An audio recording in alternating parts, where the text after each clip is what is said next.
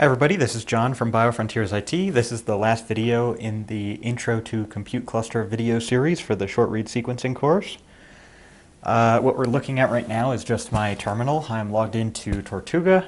Um, you can see that by running hostname, and I'm verifying that I am me. I like to do this sometimes because I have a lot of terminals open often, and I lose track of where I am and who I am. That sounds bad, but it's just a consequence of uh, moving around a lot. So uh, real quick, going to list the contents of my home directory and just highlight here a file I have called slurmtest.sh. And I'm going to open this file right now in Vim, and we're going to go through it a little bit. So when we submit jobs to the compute cluster um, using Slurm, essentially we tell Slurm about the types of resources we need, how many uh, processors or cores, how much memory we anticipate using, and how long our job is going to take. And then Slurm, when there's room on the cluster and when it thinks it's appropriate, will uh, basically execute this job for us. So we're going to go through this line-wise. The very first line is called a shebang.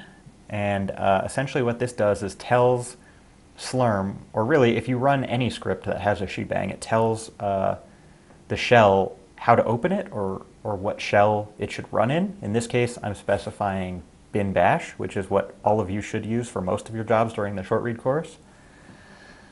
Um, next line, we have this sort of hash sbatch, and this is a special type of comment that we use in our scripts to tell Slurm about the type of uh, resources we need. Um, we tell it the name of our job, as this, this first line indicates. So I just want to go through each of these real quick. So um, the SBatch directives also, it's worth noting, have to go before any commands that you actually run in your job. You couldn't stick one randomly at the bottom of the file or anything like that.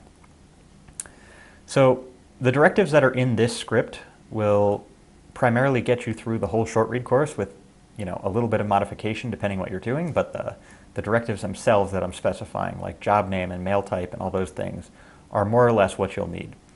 So this first one, we can see, you know, again, hash sbatch, and then we have job name equals slurm test. When we run uh, commands to see our job running and whatnot, that's how it'll appear. Um, mail type, uh, we can choose to get email, basically, when our job starts, when it finishes successfully, or when it fails. In my case, I'm specifying all. Please note, if you specify that you want to get mail, you must provide a mail user. If you don't, um, we will get a lot of emails and we will very likely reach out to you and tell you to fix it ASAP because this happens more often than we like.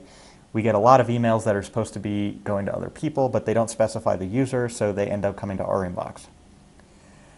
Uh, ntasks basically is how many CPUs or cores do we want. In this case, I'm just going to use one.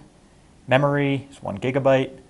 Uh, again, that's more than I need for what I'm doing right now, but you could specify something up to 256 gigabytes on Tortuga. Uh, time, this is basically how long you think your job is going to run. Um, people have this tendency to specify some outlandish time, like, you know, nine days for something that will actually finish in 10 minutes. It seems like that's the safe thing to do, but it actually really hurts everyone because the scheduler uses this time to try to uh, anticipate when it might be able to run a job or when a job might finish. So the more accurate you can be with your wall time, uh, it's actually going to make the cluster sort of a better place for everybody. And I know that sounds a little uh, cliche maybe, but uh, it's true.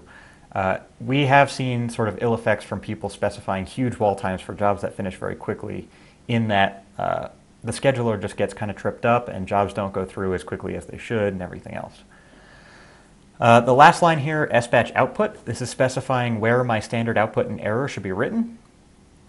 Um, also, I have a variable in this line. This is something that Slurm knows to insert my job ID here. So I could run this five times, and because I'd have a unique job ID every time, uh, this percent %j will be replaced by a unique number each time, which means that I can keep writing to the same location, but since that number is there and it's different, it's not going to overwrite the old files. It's going to keep making a new file with that job ID. Uh, you can also separate your error and output files. I don't personally like to do that because I um, sometimes standard error and standard output are written at the same time. So having them in one file means uh, you can see them sort of side by side as they're getting written, and sometimes that's a little bit more helpful in my opinion.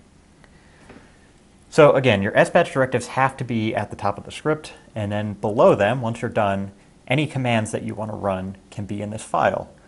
Um, if you wanted to do some operations like in your homework for day two, like um, catting files and whatnot, you could do that as a job on the compute cluster rather than doing it interactively. In my case, I'm going to uh, print my present working directory. I'm going to print my host name. Uh, sometimes I like to print host name at the beginning of every job anyway, because then you'll know which compute node it ran on. This can sometimes be helpful for troubleshooting in case there's an issue with one of the compute nodes. Uh, I'm going to run the date.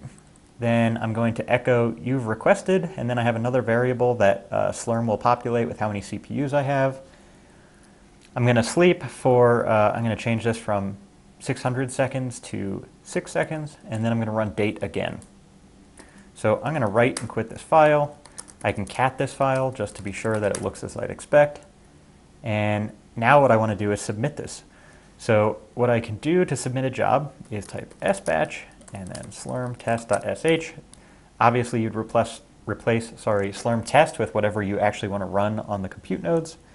And when I do this, Slurm is going to kick back a little message that says submitted batch job 594. Now I can type squeue and I'll see my job running. I can see the job ID, it's running in the compute partition. I can see the name, again, defined by one of those sbatch uh, sort of directives at the top. ST is for state, it's running time, it's been running for five seconds, and I can see it's running on tort node 01, which is the first compute node. If I run squeue again, at this point, the job is finished. So what I'd expect to see is basically the file um, from the job, slurm test, then you can see where I had percent %j got overwritten with the job ID, or replaced, dot out. So if I cat that file now, I can see all my commands. The first command that I ran in my script was pwd. Then I ran hostname. Then I ran date. Uh, then I ran an echo, and I wanted to print out the number of cores I had, and then I ran date again. And if you recall, uh, before I ran date the second time, I had sleep 6. So if you look at the timestamp here and the timestamp here, what you'll see is there was indeed a 6 second sleep in there. So let's do one more thing here. Let's modify the Slurm test script. Let's change our wall time to uh, 5 minutes. And let's change our sleep to 10 minutes. Why are we doing this? Well, um, if I ran this, I'm not going to make you sit here for you know five minutes, but if I ran this, um, what I would see is that this job would actually fail when it exited. It would have a non-zero exit status, and that's because I would run out of wall time since I only asked for five minutes before my sleep was able to actually finish. But I'm still going to run this because I want to show you something else. So if I run sbatch slurm test.sh, I can now see submitted batch job 595. That's my job number. I can run squeue and see that it's running. Uh, slightly different output is if I type qstat.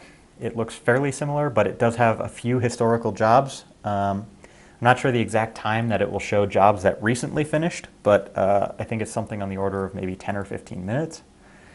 So under S here, I can see this job 594 has C for complete, and the one under it has R for running.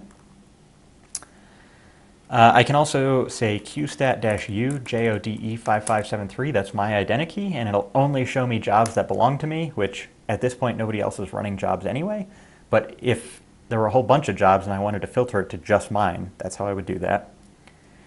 And last but not least, let's say I realize now that job 595 uh, I made a mistake when I submitted it. I know that it's not going to exit cleanly, so I actually want to just kill the job. I don't want it to run.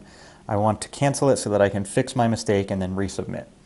Well, for that we use the scancel command. And what scancel does is basically uh, it will remove a job from the queue. It will terminate what's happening. And now if I run squeue, you can see my job is no longer there. Um, so that's sort of the basics here. I think the last thing I'd point out is uh, how do we see information about a historical job, a job that already ran but we want to follow up on? Um, in Slurm, it's a little bit wonky, but there's this command sjobexitmod. And if I do dash L and then my job ID, I can actually see my job ID. Um, if you're under an account with us, you'll see account there. You all probably have something blank. Uh, the number of nodes that I had, the node list, the state of the job. Uh, this was the one that I canceled, and you can see here it says that I canceled it. Because I canceled it, it had an exit status or an exit code of zero, and um, if there were anything more, it might be here under comment. So hopefully that's all helpful. Um, if you have any questions, I would encourage you to reach out to BitHelp at colorado.edu to get a hold of the BioFrontiers IT team or ask one of the TAs for the short read course.